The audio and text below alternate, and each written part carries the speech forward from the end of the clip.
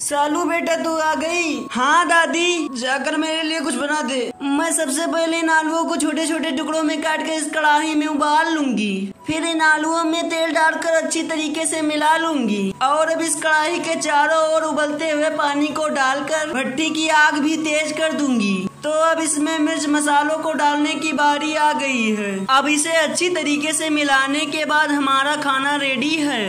तो चलो इस प्लेट में खाने को परोस कर दादी के लिए डाइनिंग टेबल पर सजा दूँगी। तो दादी जी, खाना रेडी है। बेटा, तू मेरे लिए कितनी मेहनत करती है? इसलिए मैंने तेरे लिए एक गिफ्ट लाया है। यह एप्पल का लैपटॉप है बेटा। थैंक यू दादी।